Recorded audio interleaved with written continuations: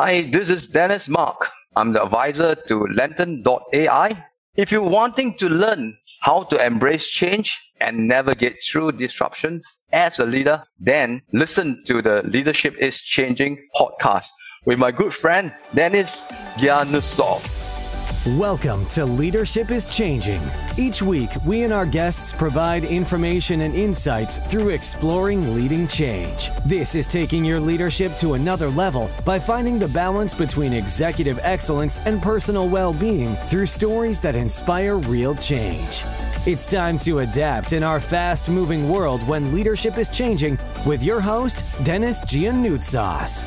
Hey, welcome to the show. Leadership is changing. What we as leaders know to be true is that change is constant. Leaders everywhere confront similar obstacles because people are people, but everywhere you go, leaders are overwhelmed, disrupted, and under pressure. They run from email to email, meeting to meeting. Many leaders are not changing quick enough, which means they run the risk of becoming irrelevant and being left behind. The purpose of the show is taking our listeners' leadership to another level by finding their balance between executive excellence and personal well-being through stories that inspire real change. I believe we don't have enough effective leaders in the world today. And if we get the leaders to step up and lead change, then they can inspire real change. Hey, listeners, it's now time to adapt in our fast moving world. And I want to welcome you to today's episode. I have a guest with me. His name is Dennis Mark. Yes, another Dennis with Dennis here today. He serves as an advisor to the CEO of Lantern.ai, and they provide business models for SaaS and AI startups. He is also a member of the Academic and Examination Board in Boston Business School. Prior to these appointments, Dennis has had more than 30 years of experience in the IT technology industry and has held the various vice president and general manager positions in strategic business planning, sales, marketing, brand management, and customer experience across the Asia Pacific markets. Dennis, a big welcome to you. All right. Thank you, Dennis. Yeah, it's really good to have double Dennis on the show. Yeah, it's really good. Eh? Hey, um, whereabouts are you in the world today? Oh, I'm uh, calling you from Singapore. Bright, sunny, and really hot here. Yeah, I bet it's, it's always hot there. Yeah, it's always great. And and you and I have always caught up in Singapore when I've been there several times, or a lot of times per year. Yeah, exactly. And exactly. Uh, yeah, we've always caught up. So I've told our listeners a little bit about your background, just in a quick introduction there. Tell me more about your background. Is there anything else you want to share with us? Yeah, sure, sure. I, I, I spend most of my time in the technology world. And I think it's, it's always exciting. We are always in the forefront of changes and all the new and exciting um, technology that uh, have lots of promises. Some deliver really well, some pretty far stretch. But I must say that I really enjoy riding ahead of the curve, right? Mm. And, and, and hence, that's why after 30 years with almost 30 years with HP and various other technology companies, I, I really want to get in the position to continue to enjoy the wave of technology. So now I'm with the company called Lantern.ai, who's providing go-to-market as a service uh, for software as a service business and AI startups. So I think this is really exciting. You know, really continue to propel into the world of as a service, everything as a service. And I think that's probably the beginning of, of this wave and we will see more to come. And on the other hand, I'm sitting on a few boards, right? On one hand, I'm serving with Singapore Red Cross as their uh, board council member. Um, also the chairman of the international responses. And over the last two years, we were just being so busy with all these COVID responses and all. But I would also say having this strategic view on the board uh, really changed my perspective on many different things, right? We, we need to look longer term, but at the same time, we also need to be very surgical in our responses to situations that uh, require us to make a difference. So I, I'm enjoying myself a lot, right? Connecting, especially connecting with the network that I, I built up over time, right? Yeah. People like yourself, in a matter of course, I, I can get some great advice or some great connects or tips to get things even better, faster, and more responsive. I think that's one thing we shouldn't underestimate the network that we build up over time, right? Am I yeah, cool. Really excited. Yep. That's awesome. I'm going to come back to you in relation to the networking, but there was something else you said before, which is around your background. So here you are at a large, well, it was a Fortune 10 company, and then of course it split up being Hewlett Packard.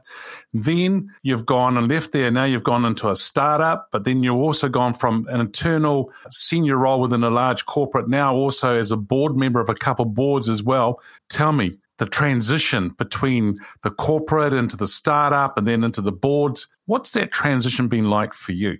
That's an interesting one. Yeah, I think you need to be conscious that you need change. You need to have a change in your mindset, your attitude about how things happen, and you need to change the world, but you need to change yourself first, right? Uh, you need to be adaptive. You need to be adjusting yourself to the different requirement. And every situation require you to be different. So if you, for me, I need to switch consciously to that mindset and no longer in a large company. I need to be as nimble, as flexible, and as adaptive to the environment that I needed to. Yeah, yeah, so good. So we need to be adaptive, we change and nimble, and also our mindset. I mean, that's a huge one, right, around the mindset. And Dennis, you said earlier on the before that, even so, you actually said about how you enjoyed the ride ahead of the curve when when you and I think that's the words you used. When you say that, what do you do to stay ahead of the curve? Yeah, that's a good one. So I would normally try to look at the big picture, where the entire trend is heading, where the situation is heading. Then allow me to project myself forward so that I can be in a place where I can receive the ball, right? You, you can read the ball, where it's going, and you, you need to move to where the puck is heading instead of uh, responding to yesterday's situation. So that's what I, I normally would aim to do. Sometimes I might miss it, but sometimes I will run ahead of the ball. But it's this practice and, and trying to anticipate and, and you will get it right as you kind of perfect the art. It's a, it's a, it's a combination of art and science, you know, by reading the situation. Well, that's a nice way of putting it. A combination of art and science. But you're right. It's actually reading the situation before it even happens and having that sort of hindsight, well, not hindsight, having that vision and that insight to be able to actually see it happening as well. And which is, which is fantastic. Now, the other thing you mentioned, as I said, I'll come back to it was networking. And as you said, I think that's probably one of the big things that uh, has helped you be successful and other leaders as well. But a lot of leaders out there today aren't very good at networking. What would be one or two tips you might actually say to people that they should do in building a network? Well, what, what are one or two things they can do? Well, to, to be honest, I, I'm not extrovert. So for me, networking doesn't come naturally. But I do consciously find common interests and common topics that I could strike a win-win relationship, right? And I, I, I believe in building a relationship for long term. Um, so mm. I'm not going to go in with the short term gain for myself over the other party, but I would want to go in, understand what's their hot buttons, what would they need me to value add to them in the, this relationship. Because once I establish that, then typically I could work ourselves from business associate to partners mm-hmm. and then sometimes into friends if if the common interests go beyond uh, just the business win-win solutions right and into personal interests i think that's where it will be you know that, that level that you can have a really sustainable uh, network out there yeah, fantastic. And I really like what you say there about building relationships. I think people tend to sort of get hung up about that word networking. And it's not about networking, it's about building relationships for the future as, as well as you said. And and I think that's very good that we can do that. Looking for people's hot buttons and helping them and and yes, I think that that's great. And when you said you're probably an you're not an extrovert, you're an introvert. Come on, man. I, I I've seen you. We, we've we've had some fun together and good laughs and things like that. And and I know that you're here at times have been spiky as well. What do you mean you're not an extrovert? yeah, those are my antennas to pick up the right signal. But you know, there, there's a there's a bit about natural self, right? So if I'm in my downtime, I might be just reading a few books, magazines, watching some movies, or, or picking up some nice photography to, to learn more. I, am I'm, I'm probably more in the mode of learning, but I want to learn uh, in a quiet space, and that's my natural self. But when I'm then out on almost like a mission, right? It be it a business setting or in a personal setting where I need to connect, when I need to build up relationship for a long-term good it could be a charitable mission, it could be a business mission. But then I, I switch on to that mode about wanting to build sustainable relationship and meaningful relationship. And I constantly ask myself, how could I value add to this party, to this person that I'm meeting? Right. Uh, so that may, maybe it's a, a, a quite a strain to myself. That's why sometimes it become not that enjoyable. Right. Uh, but sometimes mm. when it's so much fun that you, you, you forget that you are in a mission too. Right. Yeah. Yeah. And I think if you have fun and you have a little bit of humour, it actually does help things along a bit because at times it can be a little bit difficult for sure. Dennis, you've talked about, in, in, in my introduction for you uh, to the show, to our listeners, and also a little bit you've shared as well, you've talked about these leadership positions you've been in and in today. How did you get into leadership? Right. Yeah, I had a lucky break to some extent. Uh, uh when I uh, first joined HP, it was HP starting the personal computing business and I was assigned to North Asia and we went in hard and fast and built up our PC business from nowhere. We were, I still remember we were number 17 on the market share chart, right? And, and we were almost irrelevant. And I have channel partners, customer asking me, why, why are you in this business? You, you are in a good, comfortable printing business. And why, why you want to be bothered with the PC business that's not making money? So, and, but we went in hard, we went in fast and uh, we beat up other brands no longer existed now, you know, the AST, Oliver T, and all.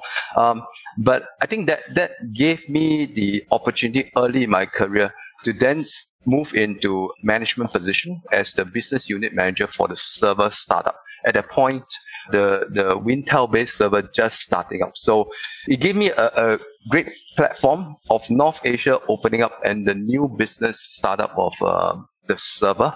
So I think that combination worked out really well for me. So it gave me a very first uh, lift uh, into a management position.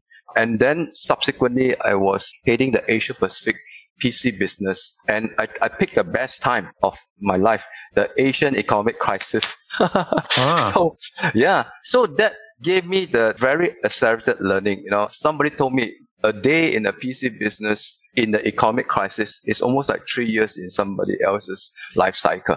So hence I, I, I did those very compressed cycle learning and that allowed me to subsequently take on general positions, uh, general management position. And, and I think that, that was a fortunate situation that built up. But on the other hand, I also must say that as individual, we must take career uh, development in our own hands. So you, you need to do the best in every position and at the same time be the best for the next position, right? So it's a learning journey all along. And I must say my second break in HP was this formation of marketing transformation, right? We, we wanted to reinvent our brand and we set up a new team uh, with Satjiv Chahil, the ex-CMO uh, from Apple and Sony coming in, leading us to transform. And I was heading the Asia marketing and at the same time serving as the worldwide marketing council to look at the transformation of brand. And I think that was really allow me to also understand that you need to continue to explore new boundaries. I was always in the profit and loss position, right? Always managing numbers and all. And suddenly asked to move into a functional leadership position, I was he- hesitating for a while, right? Because, you know, when you don't have the core numbers of P&L in your hands, you, you feel powerless, right? But into the marketing, I fully realized that I was like the fish in the water, right? Yeah. I, I found a new dimension that I could really do well. So my learning there is don't let the past define your future, right? You continue to push boundaries. You continue to explore new area of interest. Sometimes we don't even know ourselves in that sense, right? That we can be very good in certain new areas. Yeah. So very, that was very, my learning. Well, that's awesome. So don't let the past define your future. A great term and a great uh, statement there by Dennis. And yeah, that's very good. And it sounds like, you know, you've gone into different roles. And I was about to ask you whether you sort of had to put your hand up, but then you went and answered that um, straight away, which is fantastic. So not only did you prepare for a role, you did very well and over delivered in that role, but then also started to prepare yourself for the next role as well. And and I think that that's something that's some really really cool thoughts and actual wisdom being shared there by Dennis, listeners. So uh, it's, it's that's some great stuff. Dennis, who's your favorite leader now? This leader can be from the past, in other words, from the history or alive today. Who's your favorite leader and why? I, I must say, given that I'm in Singapore, I would say the Singapore founding father, Mr. Lee Kuan Yew, served as a pretty good leadership example for me. Right? He's really determined, fearless, and visionary. Right? He built Singapore from almost nothing. Right? Out of poverty. Right? And when the British uh, kind of pulled out from this region, and he was driving it hard and in many cases uh, very determined to make it happen right? So there my learning is if, if you want to and the quote that i, I found very relevant uh, to me is that he said if you want to reach your goals and dreams you cannot do it without discipline. And i think that is that type of approach that we, we need to adopt right? I almost want to make discipline my middle name because that will remind me to continue to ensure that I, I live, play, and work with discipline, right? But sometimes stressful, I must say, but it always give me the best results. Mm. Yeah, he's a great, wonderful man, Lee Kuan Yew. And uh, as you said, you know, he talked about those three different words, right? So determined, fearless, and visionary. And so the discipline is the thing that's actually going to help it. I always find three things. Discipline is one of them. Second thing would be the focus. And the third thing would be consistency. And you can relate that consistency to the focus and to the discipline as well. Because you can't be disciplined today and then not tomorrow and so forth. You've got to be Absolutely. consistently disciplined, right? Yeah. So Absolutely. I think that's really, yeah, yeah, it's very important. You need yeah, to have so, a long term vision to, to consistently tie yourself to and all the efforts towards a, a single minded focus area. Yeah. Mm, yeah, very good. Single minded. I like it. Yeah. Now, the show is called Leadership is Changing. And when I mention that title, what does that mean to you? Well, it is changing. It is changing and it's almost a constant in my mind. And we need to accept it that, again, the, the, the past cannot define our future. So for me, the changing leadership is almost equate to the need to have adaptive leadership. And this, I look into three areas. The environment, we need to be adaptive to the environment, the big picture. We need to be adaptive to the organization and the people that go with us, the team.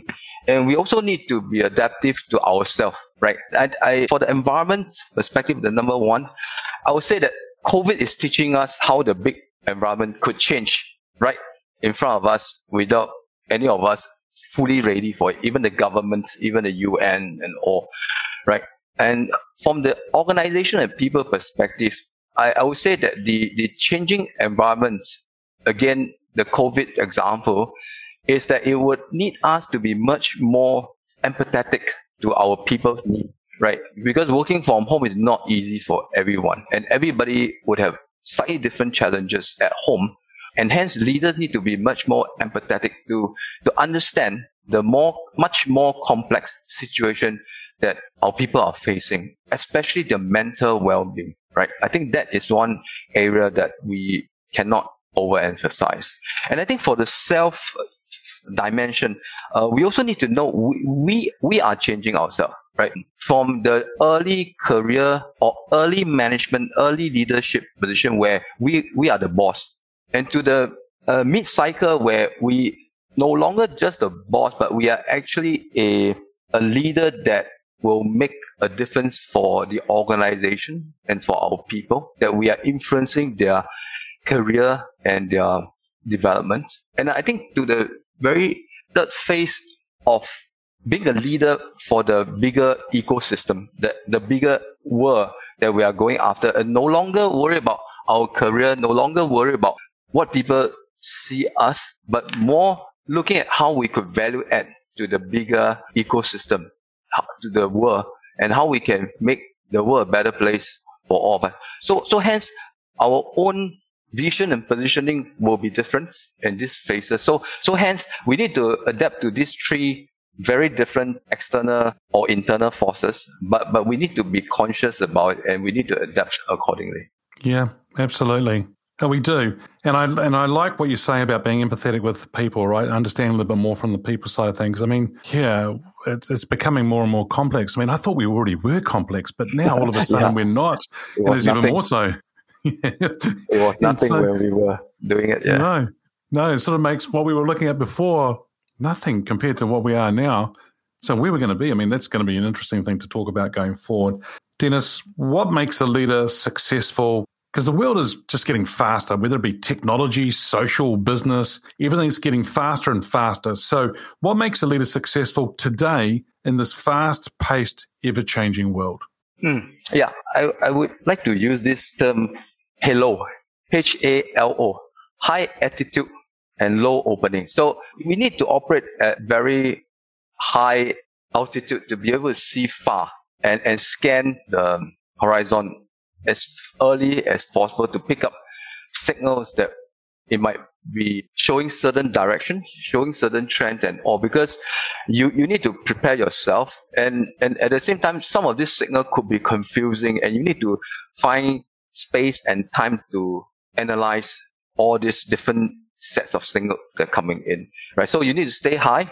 But when there's opportunity, you need to dive right in. And and that's why the low opening. So you need to jump off the plane in the at a very high altitude and then you just need to go right down and open your parachute just at the moment where you are right at the spot and land there so that you can be fast, you can be precise, right? The low opening will give you the precision to land yourself and also to be right there and right in front of the situation to respond to opportunity. So that, that's Brilliant. how I would envision yeah, that's that's awesome. So hello, so H A L O, so high altitude, low opening. Yeah, Having it's actually a military operational yeah terminology, right? Uh, they they go right up there and they they, they airdrop this yeah agent down right into the position and open low so that they are not detected by enemy but at the same time they're opening low right near the area of operation. Yeah so they hit the mark. They hit the spot. They hit the bullseye. Real they hit fast. real fast. Yeah really good. Yeah very cool. So that's that's a that's a great way of actually sharing it. So leaders make sure that you are prepared to be in the position of hello, high altitude and a low opening. And so you hit the spot and you're actually bang on with what you need to be with your business, with yourself, with your people, and with your organization, and probably with your customers and your stakeholders too. Eh? So, so it's a pretty good thing. Yeah. Hey, um, Dennis, well, you and I have talked about leadership today. We've talked about uh, certain things. Let's put our let's put our cap on or our shoes on differently to to an employee's expect um, sort of lens, the way that they're looking through things. So, employees today, you and I both been in leadership positions, yep. but we've also been employees. And yes, today, exactly. what I'm wanting to know is how has employees' expectations of leaders changed? Hmm, yes, I, I, I believe is um, is changing too because the demand for the employee is also changing. So I would believe that the employee wanted to connect to the top as directly as possible. So that gave the mid management a challenge because we used to use mid management as a con- conduit for top level messaging down, right? But today with technology and all, and also the increased expectation of the employee to hear from the top directly, or maybe not just to hear, but to have communication with the top. I think this demand would really accelerate the communication frequency and they want to have a direct and authentic conversation with the top management. So I think that is really a, a challenge, but I would think it's also an opportunity if the, the top management use it well because through the layers, there bound to be translation error and, and propagation delays and all. But if you can speak direct to your employee, and this is what they want. That's the best thing. They wanted to hear directly from the top, and you must. But the challenge is you must make it relevant to them. For a leaders in U.S. West Coast to talk in a relevant manner to let's say somebody in in China, Shenzhen, there there needs to be a very strong sensitivity of relevance from the top management to, to make it real on ground. So I, I would say this is very important from our perspective. And especially with, with COVID, right? Everybody locked up at home or uh, in some countries are a bit more open now to go to work, but will be a limited team that they will be there. So they, they won't get the natural exchanges, networking sessions that we talked about previously prior, prior to COVID. But now they, they needed more. They need to hear what's the future for them? What is the new direction that the management would take with such situation? And where's the opportunity post COVID, right? Or, or if there's no post COVID, but then how do we continue to live with COVID moving forward? And what is this company approach to be the winner in the new era? I think that's what the employee would ask for, right? The formula to win in this changing environment because the employee want to contribute to that. I, I don't believe the employee just expect the top management to work hard to bring them out, but the employee wanted to contribute because now they know it's a situation that everybody need to work together to make good. And hence, I think that's why they, they, they want to pull more communication with the top. And, and maybe to some extent, back to the empathy topic, then the top management needs to really have this empathetic leadership connected uh, in the whole equation. Yeah, very good. And I, I, like it. The formula to win in this changing environment, and that's what people are looking for, for sure. You're right. I mean, I think a lot of organizations are becoming a lot more flatter, if I can put it that way, and a lot of middle yeah, management yeah, isn't exactly. there anymore. Yeah, for sure. And a lot of people are wanting to get their messaging, as you said, from from the bigger, the more senior leaders. But I think it's also, as you said, it's a responsibility of those senior leaders to make sure that what they say, how they say it, and is relevant for the audience that they're speaking to. As you said, you know, west coast of the US versus somebody in China, you know, it's not always going to be the same, and they have to be a little bit sensitive and mind and mindful of that for sure. So I think yeah. you're right. I mean, employees' expectations are looking for that direction, but at the same time, they also want to be able to have that access and feel like they're being heard as well from their senior leaders. Yeah, so, exactly, uh, exactly. The employee wanted to contribute, and I, I think we, we need to have that belief. Employee want to do good. They want the company to be successful, right? The, the, the top management should not see this because it's easy to make that happen because with the disappearing of mid management, the, the distance, although we, we, we think that on the org chart, the distance is closer, the bottom and the top. But because the, unless the, the company is really connected, but for large company, it, it might mean that psychologically the distance is actually further, right? Because now you, you don't have the signal coming through through your usual, especially if a company is used to the old hierarchy. But it's a new startup, then it's very different because there are only just a few of them and they started off day one with direct communication from the top to the bottom, right? But for a, a traditional enterprise that's going through a transformation, cutting off the middle layer and now cutting off maybe the office rental, right, with COVID. So they save lots of costs. But at the same time, uh, they might not have realized that the barrier additionally added between the top and the bottom. I'm just writing here, they're saving a lot of cost, but at what cost? Exactly. Yeah. yeah. Mm. So I hope they are conscious of that because, yeah, sometimes I won't say it's a zero sum game, but one is taking out from the other side of the equation. It's going to be it's going to be quite interesting to see how many organizations do stay in commercial offices and buildings and things like that. Or, I mean, I just saw an article recently that PwC in the US, or PwC maybe globally, have just decided that everyone's going to work from home and three times a year they have to come into the office or to a venue somewhere. Well, come to a venue nearby you. um, it's going to be interesting to see what happens there. So, for a lot of commercial uh, property owners, whoa, there's a massive change for them. Maybe we should start another podcast commercial property is changing. Yeah, so something like that. But um, yeah, but then I think you that's actually that's yeah, that's good. Eh? but I think that's really really quite key what you've said there, and they do want to actually contribute and win. No one no one wants to work for a, a company that's losing. Yeah, they exactly. all want they all want they to win, right? Interest. They have their vested interest. So I think if they can work as one, I think that's critical. But how to connect with your employee at the front, right?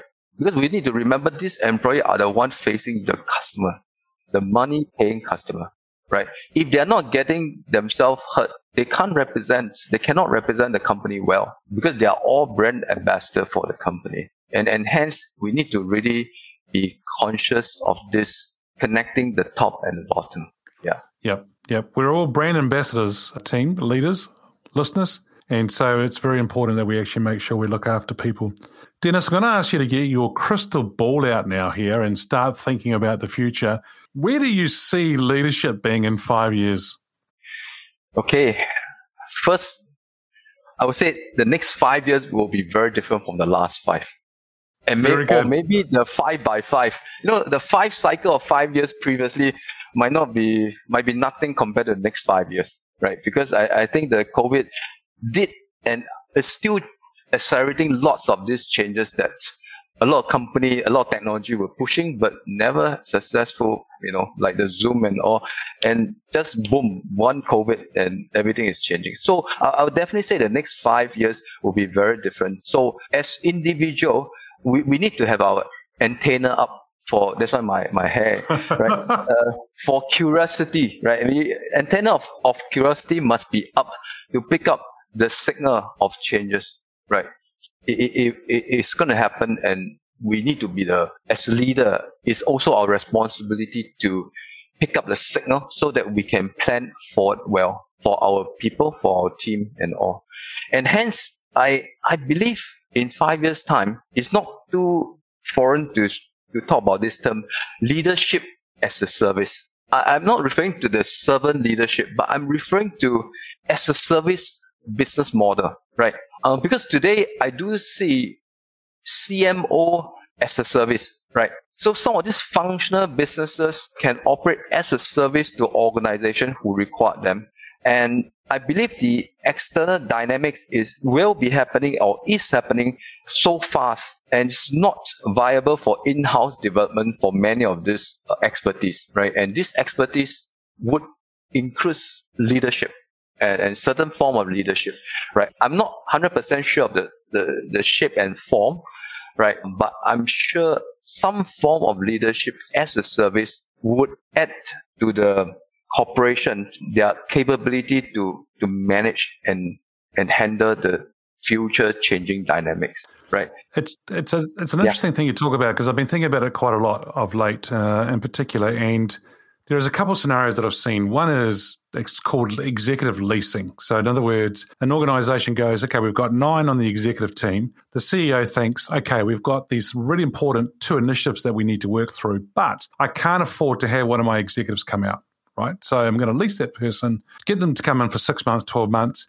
They can speak, they can talk, they can hang around with that executive level. Then that's the kind of people that we want, right? So that's that's one scenario. The other scenario is exactly what you said. And I think today, if I think of a CFO, we, there's a lot of people out there today who are what we call virtual CFOs, right? So, in other words, a company can't afford to have one five days a week, but they can afford for them to be around for one day a week, right? Yeah, and um, yeah, yep, yep. So I think that's that's very very much what we're talking about here. I think it's it's really it's very exciting times ahead where that's going to go for sure.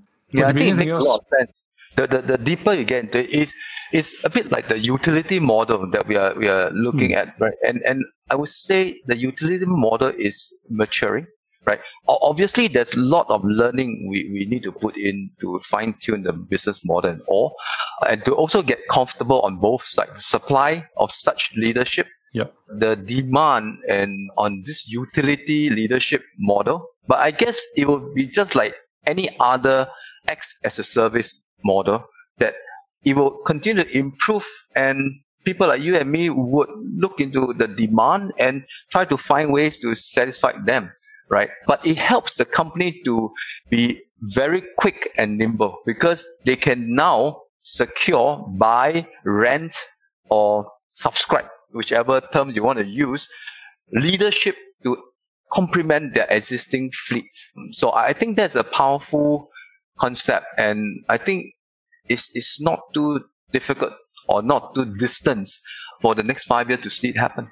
Yeah, you're right. And and one of the episodes, uh, probably sort of six, maybe eight months ago, that I actually interviewed a guy who's got a global business, and he's talking about a subscription type type of workforce going forward, and he thinks that he will be actually that will actually start to happen. And I think his business model probably is going to change to that way already, and he's he's starting to put that in place. And I think that's exciting to see where it's going to go. So people can turn it on and off as well as they need it. Some organisations now for people does that really give them certainty around jobs? Well, the argument is, is any job today uh, certain? Maybe if you're in a government department, you could be in a certain role, but I don't think in the private sector, any roles are certain anymore that you're going to be there for life. Things change all the time. So there's one thing. The other thing too is what I think it's going to give people flexibility in their lives. And I think, Dennis, that's probably one thing that I think COVID has actually taught a lot of people or woken a lot of people up to is hey, it's not all about work. It's not all about the corporate world or business world. We've got to enjoy life too. And so if we can have that flexibility. Absolutely. Yeah. yeah, absolutely. I, I think the for individual the flexibility is one. Two is that it probably could open more opportunity because now if in this utility model you, you are no longer tied to one particular company but you are a resource for multiple company and multiple industry to tap into right so i think that that could be the mindset change for individual but of course some might still like a, a standard or, or constant paycheck from one company and but on the other hand, you need to continue to develop yourself for the future. And what's the future going to be like, right? Would the future be more utility based than fixed base. And the company themselves might be going through this. So on the other side of the equation, the company actually will enjoy flexibility and also their ability to scale to opportunity and scale down if situation like COVID that will temper or, or, or, drastically change certain demand. So I, I would think this flexibility on both end will have to be explored further, right? And think this is the opportunity actually. That is so exciting. That is very, very cool and wonderful. So, Dennis, thank you for joining us on today's show. If our listeners are wanting to get hold of you, where should they go? Well, they can just uh, type Dennis Mark LinkedIn. They'll find me. Okay. Definitely. Excellent. Yeah, LinkedIn. So, Dennis, once again, hey, it's been a real pleasure talking to you, and thank you for being on on the Leadership is Changing show. Pleasure is mine. Excellent. Hey, listeners, what we as leaders know to be true is that change is constant. Change is incredibly scary, especially with the unknown and unfamiliar territory. It's time to adapt in our fast moving world when leadership is changing. Hey, look out for the episodes as they're being released. Download them, have a listen, put a review and a rating. Feel free to share them with your friends, your family, your network. If there's any feedback you'd like to give me about the show, or if you have a question for the Ask Denis freestyle episode, then send me an email, dennis at leadingchangepartners.com. Hey, listeners, it's always a pleasure being with you. Thanks for tuning in. Until next time, bye for now. Thank you for listening to this episode of Leadership is Changing with your host, Denis Gianoutsos. Each week, we and our guests provide information and insights through exploring leading change, inspiring executives and leaders to adapt and lead a bigger game in a fast moving world.